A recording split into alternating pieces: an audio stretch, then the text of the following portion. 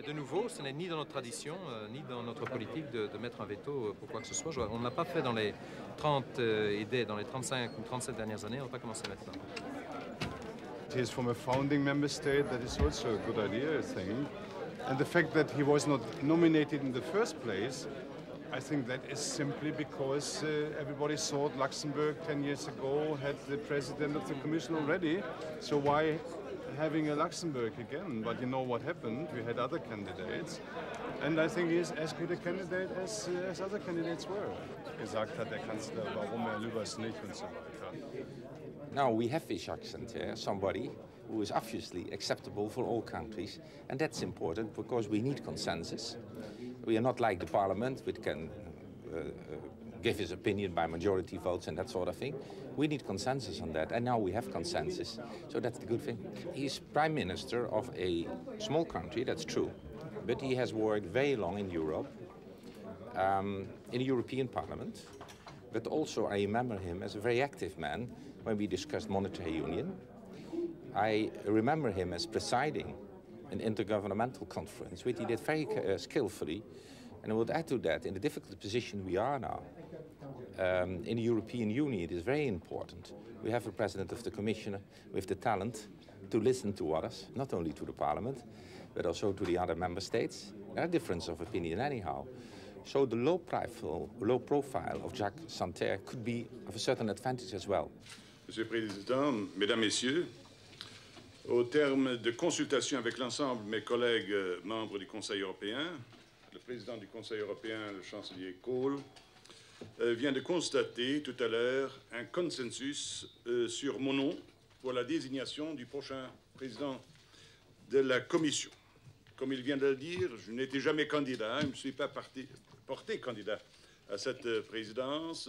Pour ma part, je n'ai jamais eu nourri l'ambition de briguer le poste de la présidence de la Commission.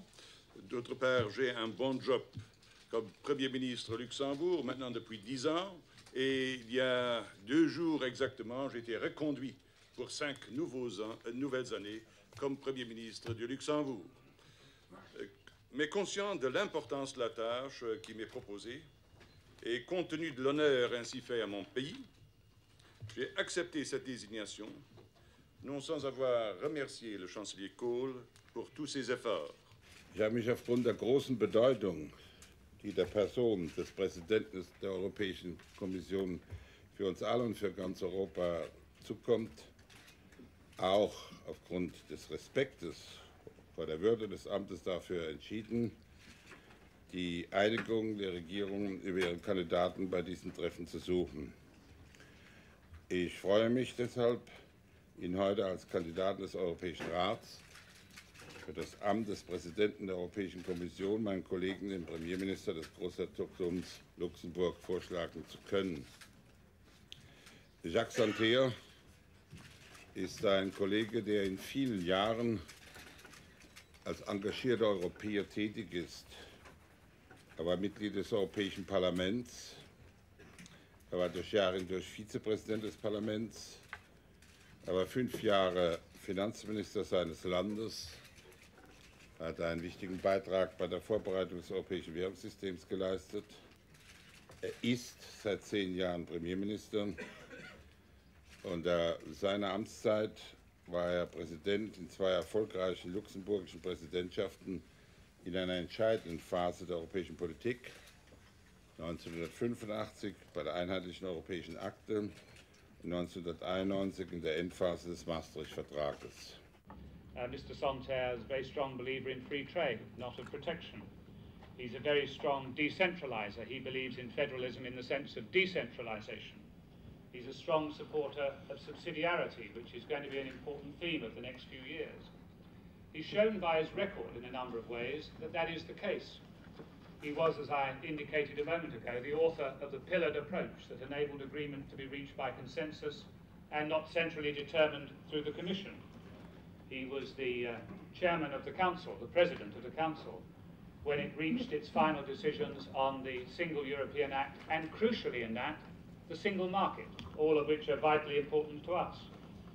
I don't think there's any doubt that he's a strong believer in nation states. And I think there's another point, perhaps, that many other people have not yet spotted, and that is the fact that, uh, for uh, his own reasons, he's been a long-standing opponent of harmonisation of taxes. Now, all those are very distinct policy points of some importance to us. Yes, it's uh, very difficult to say because uh, I was very not prepared for that. I made a good job in Luxembourg as Prime Minister. I was reconducted for five other years and I was very surprised that uh, all the member states, uh, uh, the 12, has a unanimity on my person. That uh, is a very great honor, not for me, but also for my country. Thank you. Thank you.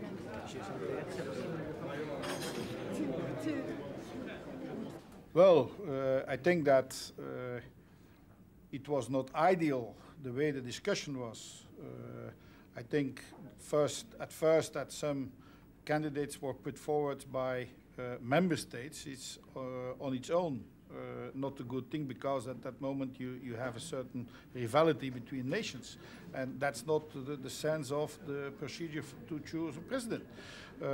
secondly, I think it it was in fact necessary, if we want uh, a result, uh, to try to have a, a, a, consensus before the meeting, like it happens here.